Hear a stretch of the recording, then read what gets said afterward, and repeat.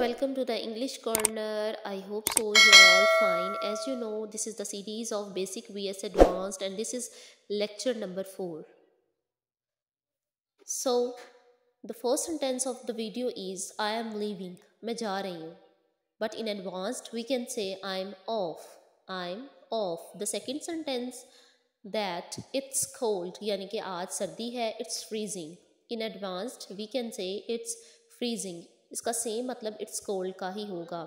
The third sentence is how are you आप कैसे हैं? How is it going how is it going sentence देखने में लग रहा है कि न जाने कैसा है बट हाउ आर यू से सेम है। Fourth sentence is are you mad क्या पागल है?